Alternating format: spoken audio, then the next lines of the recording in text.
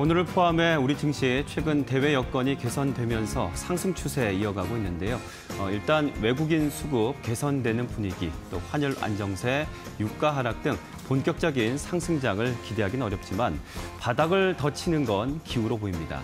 아, 간밤 미증시도 상승 마감했는데요. 부진한 고용 지표로 미 연준의 기준금리 인상 속도를 조절할 수 있다는 기대감과 석유 수출국 기구 오펙 플러스의 증산 합의, 또 감에도 논란이 있었던 기술주 중심으로 강세를 보이면서 오름폭을 확대했습니다.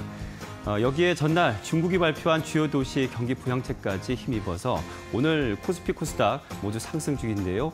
이 코스피 시총 상위 종목 중에 카카오와 카카오 계열사의 상승이 어, 지수 상승폭을 상회하는 수준이라서 주목이 됩니다. 자, 네이버를 비롯해 양대 빅테크 플랫폼 기업들 최근 코스피에서 달라진 그 외국인의 수급이 이 두 기업을 향하고 있어서 주가 연저점 이후에 반등 또 연일 상승 추세로 이어져서 성장주에 대한 우려를 조금씩 불식시키고 있습니다. 어, 지난해 하반기 각각 45만 원대, 뭐 16만 원대까지 사상 최고치 경신했던 두 기업이 지금 주가 상황을 보면 반토막이 난 건데요.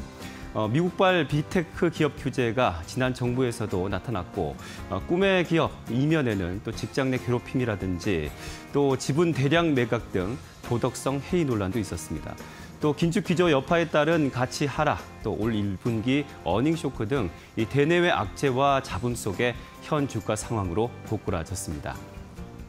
자, 하지만 최근 미국 기술주에 대한 저점 바닥론이 우세하며 추경 매수세 이어지자 이 네이버와 카카오도 같이 반짝 상승세가 나타났는데요.